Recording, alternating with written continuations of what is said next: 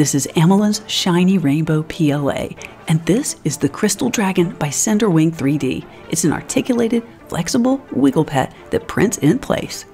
I used a raft because this is a complex model that can easily fail right at the beginning because it has so many small little pieces attached to the build plate. You remove the raft and then it moves.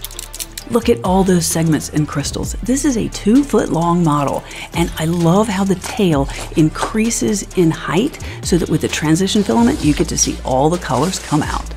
This filament is so glittery. I love its translucence. I had no nozzle clogs or issues even with all that glitter. This is the low poly skull vase by Domi 1988, and I wanted to go big, so I printed it with a Bondtech CHT 1.8mm nozzle. That's bigger than the filament diameter itself. Look at those huge layer lines. And that's where the vase mode ended. And it makes this vase look just great. But is it me, or does it look kind of like it's filled with blood?